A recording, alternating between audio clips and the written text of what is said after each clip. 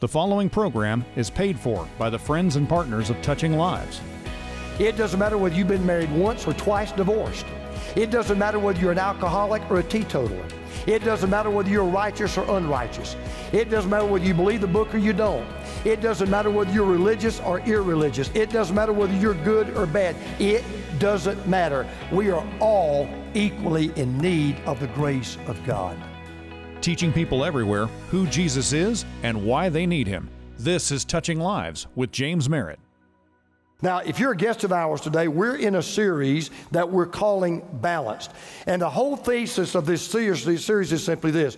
In the Gospel of John, we read that Jesus was full of grace and truth. One of the things that brought people to Jesus and that, that, that, that almost like a magnet drew people to Jesus was he was full of grace and true. Now, the story begins in Luke 7, verse 36.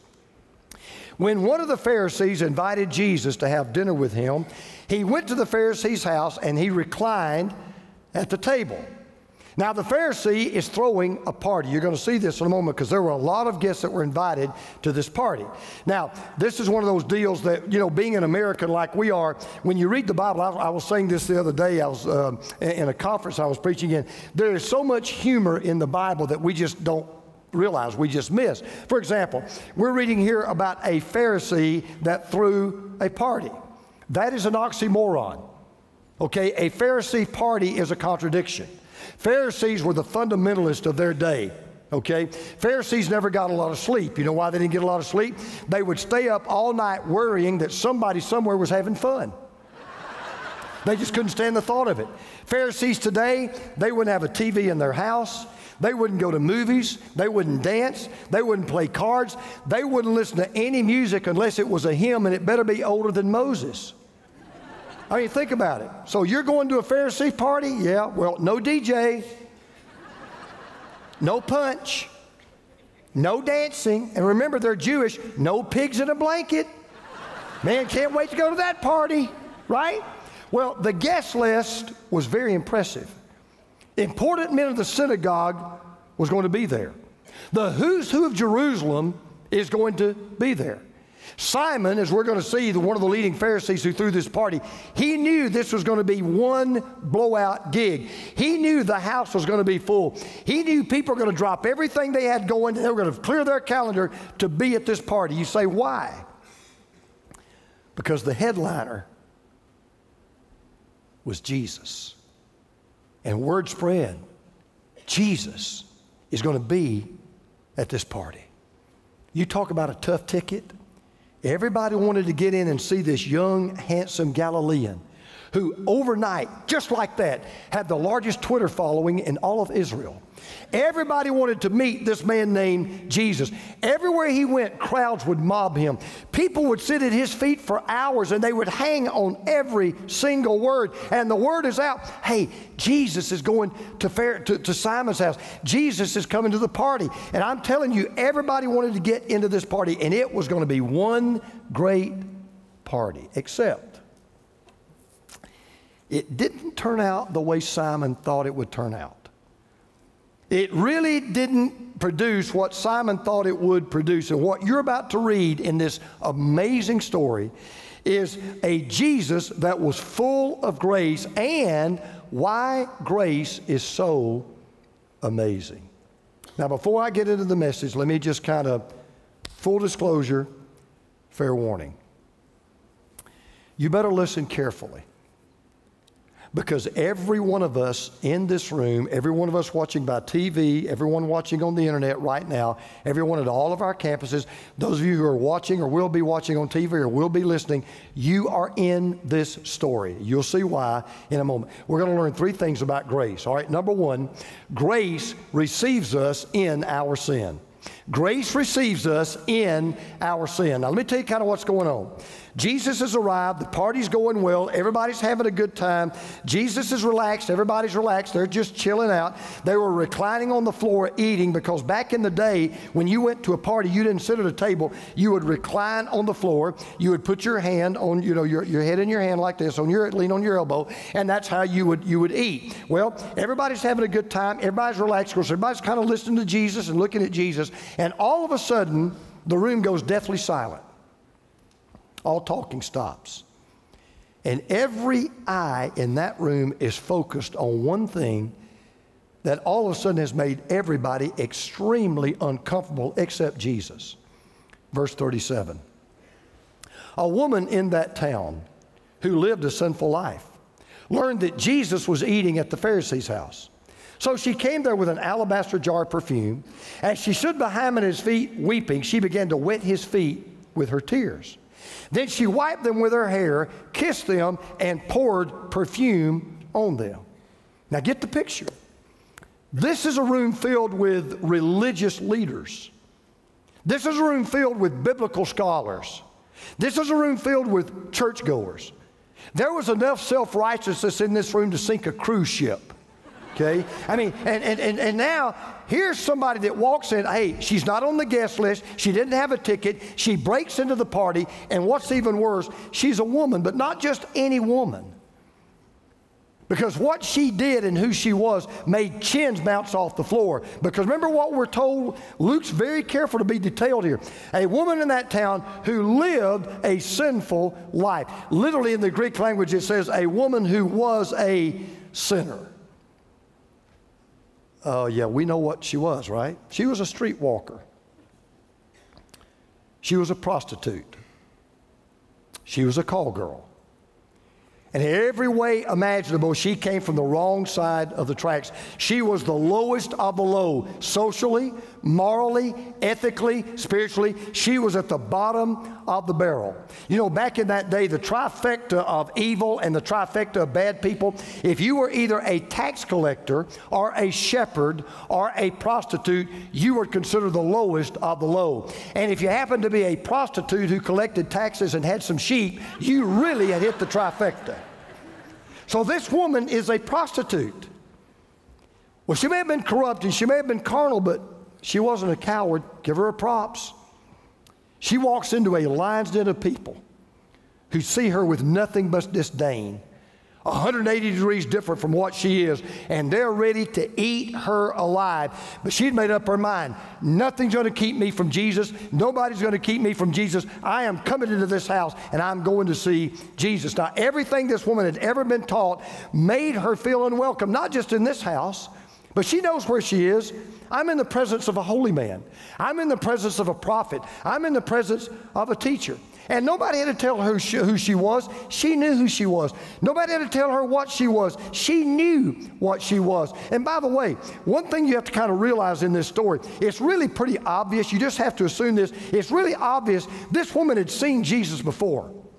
She, she had been around Jesus before. She had listened to Jesus before. She had watched Jesus before. And evidently, what he said and the way he said it radically changed her life. So much to the point that she was willing even to be stoned if that's what it took, if she could just get to Jesus. I can just imagine the first time she ever heard Jesus speak, she encountered words she had never heard before. And though she didn't know what the word was, she knew it when she heard it. She heard it clearly grace. By now, Simon, oh boy, he's hot. He has heard enough, he has seen enough, he's had enough. How dare this streetwalker walk into my party with all of my honored guests and ruin the best party of the year? How dare she do that? So listen to this. When the Pharisee who had invited him saw this, he said to himself, by the way, little, little help here. When you're around Jesus, you're never just talking to yourself. Just, just a word, okay? He said to himself, if this man were a prophet, he would know who's touching him and what kind of woman she is, that she is a sinner. Now, what you're going to about see is Jesus was well aware of who she was. Jesus knew exactly what she was. He knew exactly what kind of sinner she was. Can I tell you what's real tragic about this picture? Can I tell you what's wrong with this picture? Here's what was wrong. What was tragic is that Simon didn't realize the real problem. You say, okay, what was the real problem? You ready? Buckle your seatbelt. The problem was not that she was a sinner and Jesus didn't know it. That wasn't the problem. The problem was he was a sinner and he didn't know it. That was the problem. Jesus knew she was a sinner. He didn't know he was a sinner. And that raises this is where I'm going to get a little, little bit passionate just for a minute. Why do we think, where do we get this idea that sin disqualifies us from the grace of God? Where, where did we ever come up with that idea? Why is it that we would have a tendency? If somebody walked down the front of this church right now and sat right on that front row right there, and they weren't dressed like we're dressed, or maybe hardly even dressed, or they had everything from tattoos to earrings, or it's very obvious their sexual orientation is not where most of us is. Why is it that some of us would have this thought go through our mind?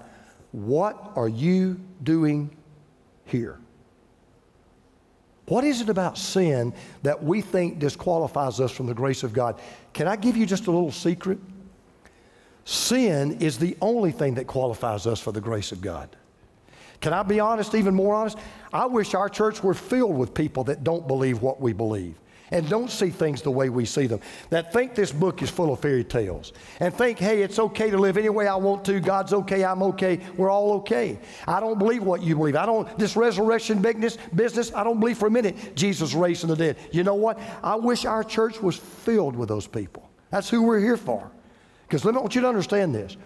You don't give up your sin and then receive God's grace. You receive God's grace and then He gives you the power to give up your sin.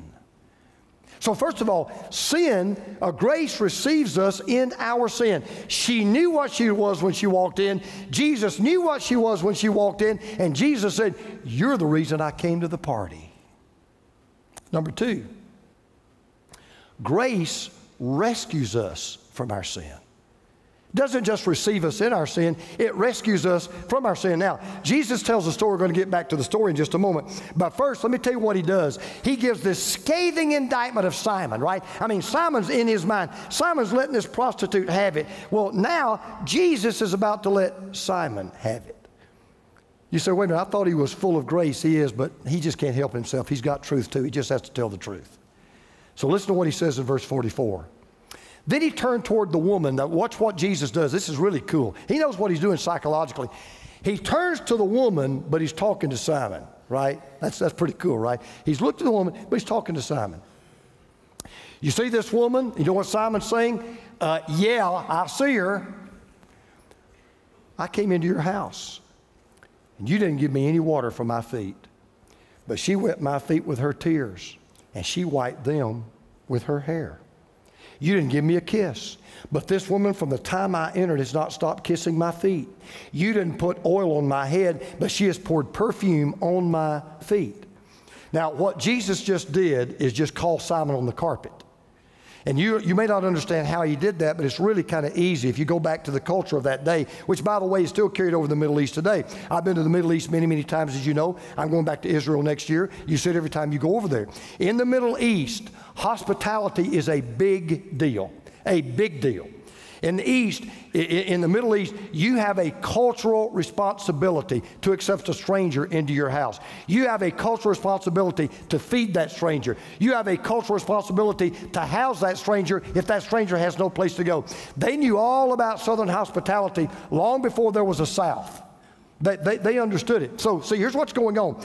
There is a tension in the room, not just because of what has happened, but because of what had not happened. Because let me take you back.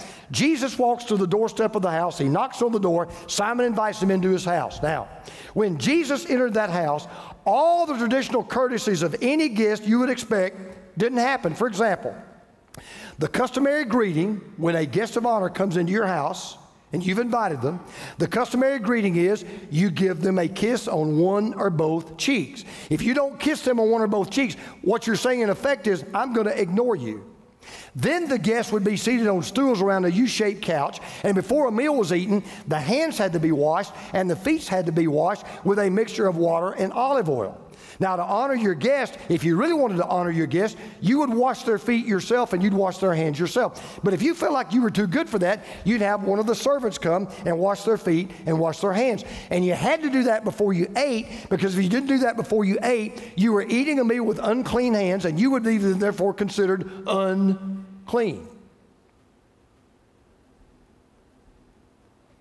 But there was no washing of Jesus' feet. And nobody had washed his hands. And nobody had given him a kiss. And nobody had poured perfume on his feet. And then Jesus says these stinging words to Simon. I mean, you talk about cutting a guy. Jesus knew how to do it just like that. Listen to what he says. Therefore, I tell you, her many sins have been forgiven, as her great love has shown. But whoever has been forgiven little, you loves little. Now, now this, is so, this is so important. She didn't wash his feet, and she didn't anoint him with perfume, and she did not kiss his feet, hoping to receive forgiveness. It was the other way around. Because she had been forgiven, that's why she washed his feet and kissed his feet and anointed him with perfume. No, she didn't know the word grace. If you'd walked up to her and said, Hey, don't you just love grace? She'd have said, What is grace? But then if you just pointed to Jesus, she said, Oh, that's grace. And then the mic drops with Jesus' next words. Then Jesus said, Your sins are forgiven. Simple four word statement, but an eternal life changer. Question You think that street walking prostitute ever dreamed she'd hear those words from anybody? And yet, she not only heard these words, but for the first time in her life, she heard it from the only one in the universe that could mean it and make it stick. Lady, when I say your sins are forgiven, take it to the bank. Your sins are forgiven. That's what grace does.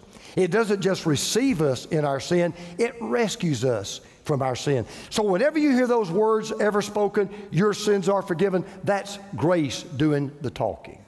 So, what does grace do? It receives us in our sin. You come just like you are.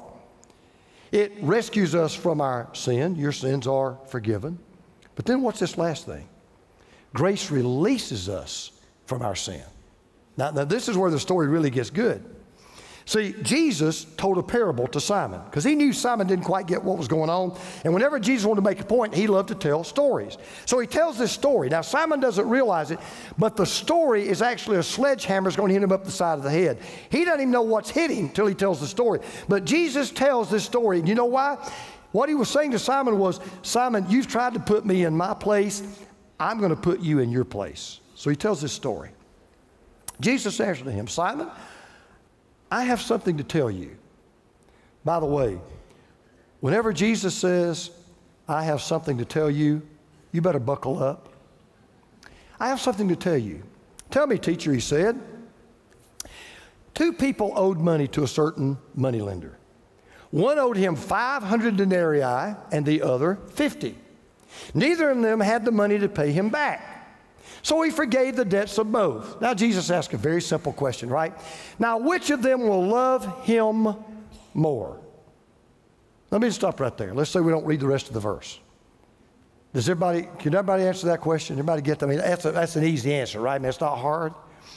Simon, though, it's, this is killing him. Because I want you to notice what he says. That's another funny part of the story. Simon says, uh, I suppose no, moron, you don't suppose anything. You know the answer. The one who had the bigger debt forgiven. You have judged correctly, Jesus said. Story's very simple. You got two men, they both owe debts to this moneylender. One man owes 10 times what the other man owes, but the one thing they have in common is neither one could pay off their debt. Now, what Jesus was saying to Simon then is what Jesus is saying to all of us now. There may be people out there that we think are 10 times worse than we are. And there may be people out, there that deep down we think we are 10 times better than they are. But here's the sobering news the fact of the matter is, we're all sinners. And we are all spiritually bankrupt. We all owe a sin debt we can never pay off. So it doesn't matter whether you're a pope or a pastor or a prostitute or a pornographer. When it comes to sin, we're all dead broke. We're all bankrupt. All of your baptismal certificates and your tithing envelopes and your church attendance and your good deeds and your giving to charity, all of that stuff put together can't pay off one iota of uh, one fraction of one scintilla of one sin. We're broke. We're all in the same boat. The problem was the prostitute, prostitute could see her sin, but the Pharisee couldn't see his. See, when she looked in the mirror, she saw how sinful she was. But when he looked in the mirror, he saw how good he thought he was. It is only when you see your goodness is worthless that you will see God's grace is priceless. You'll never see how great a Savior Jesus is till you see how great a sinner you are. So, wrap this up. What's the next step? Okay, Pastor, in light of what you just said to me, how can I apply this to my life? How can this make a difference beginning today? How can this really make a practical difference in my life? Okay, here's what I'm going to encourage you to do. This is your assignment. Just today, won't worry about tomorrow, just today. I want to encourage you to take a moment and start seeing the world as if your eyes were filled with grace. Now you say, okay, what will happen if I do that? If I, if I say, okay, I'm going to start seeing the whole world with eyes filled with grace, what will be different? Here's what will happen, guarantee it. When you begin to look at the world with eyes full of grace, you'll start seeing three things differently than maybe you've ever seen them before. Number one, you'll see yourself the way you really are, which is, just like everybody else, a sinner in need of grace. Number two, you'll see other people the way they really are. You know what? They're no worse than you are, and they're no better than you are. They're just like you, sinners in need of grace. And then you'll see Jesus the way he really is, always full of grace that we all fully need. Now, listen to how the story concludes. The other guests begin to say among themselves, Who is this? Who is this masked man? Who is this who even forgives sins? I love what Jesus does. He doesn't even answer them, he doesn't even fool with them. He says to the woman, Your faith has saved you. Go in peace. Now, listen up, and we're done. If I haven't offended anybody yet, let me give it one more shot. what Jesus is teaching us today is this whether you're a lawmaker or a lawbreaker, you are equally in need of the grace of God. It doesn't matter whether you're a liberal or a conservative. It doesn't matter whether you're gay or straight. It doesn't matter whether you're a Democrat or a Republican. It doesn't matter whether you're in the majority or minority. It doesn't matter whether you've been married once or twice divorced. It doesn't matter whether you're an alcoholic or a teetotaler. It doesn't matter whether you're righteous or unrighteous. It doesn't matter whether you believe the book or you don't. It doesn't matter whether you're religious or irreligious. It doesn't matter whether you're good or bad. It doesn't matter. We are all equally in need of the grace of God. Every one of us. Now, here's the last thing, and I'm, I'm going to have a little fun here since I'm the pastor, I get to do this. We're never told what this woman's name is. I don't know what it was. You don't know what it was. So I'm going to give you my theory. I don't know that I'm right, but if I were a betting man, I'd, I'd bet Jack your salary that I'm right. I don't know what this woman's name was before she met Jesus, but I got a strong feeling what people called her after she met Jesus. Anybody want to take a clue what you think they called her? Grace. Grace. Stay tuned for a final word from Dr. Merritt. Obviously, I've never been one, but I have been born to one and I've been married to one. And I believe being a mother is perhaps the hardest job in the world.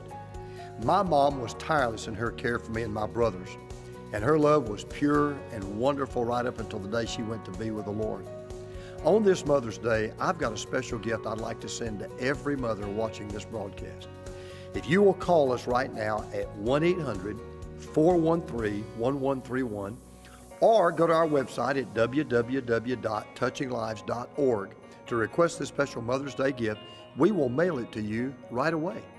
Motherhood is such a special God given blessing. And I pray this Mother's Day is the best ever for every mother watching today. I wish my mom was still living so I could call her as I used to do every morning at 8:30. If your mom's still living, call her. If you can, go see her and hug her. And thank God for that precious mom. Thanks for watching the broadcast. May God bless you until we meet again right here on this station next week.